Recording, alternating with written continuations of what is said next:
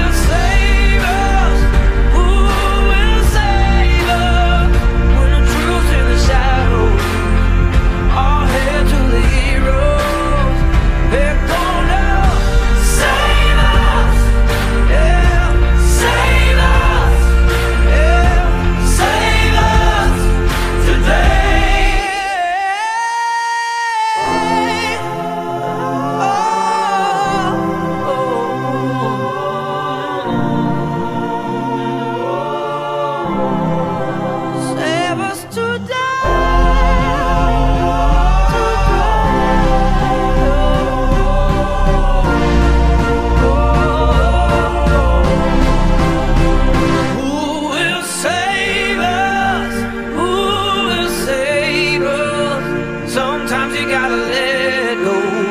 Leave it up to the heat.